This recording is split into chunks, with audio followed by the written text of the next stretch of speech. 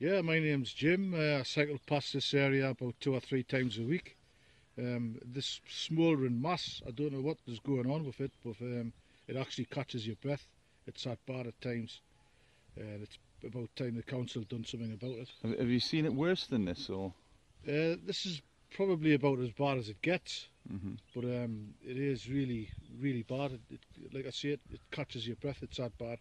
And how long has it been going on it's been going on for about uh, six months.